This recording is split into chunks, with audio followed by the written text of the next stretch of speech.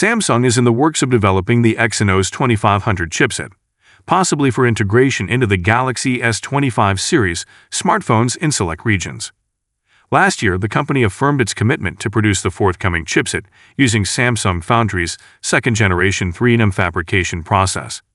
This advancement is anticipated to deliver enhanced power efficiency, compared not only to Samsung's own 4nm fabrication process used for the Exynos 2400 SoC, but also to TSMC's 3nm fabrication, which Qualcomm intends to employ for the Snapdragon 8 Gen 4. Today, fresh insights have emerged.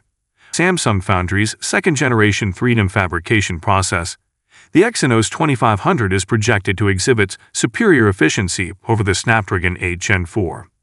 The source also asserts that the Exynos 2500 will outperform the Exynos 2400 while consuming less power.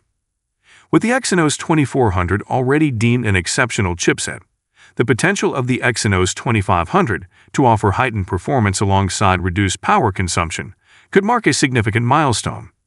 Its anticipated superiority over the Snapdragon 8 Gen 4 would further fortify Samsung's position and gratify its fan base, granting the Galaxy S25 series smartphones a competitive advantage over rivals, many of which are expected to adopt the Snapdragon 8 Gen 4 chipset. Recent reports suggest that Samsung is developing two variants of the upcoming chipset, the Exynos 2500A and the Exynos 2500B.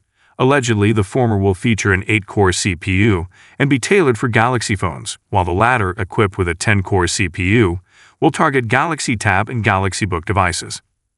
It is purported that Samsung will incorporate tensor processing units, TPUs, from Google's Tensor SoCs into the Exynos 2500 instead of the neural processing units, NPUs, utilized in the Exynos 2400.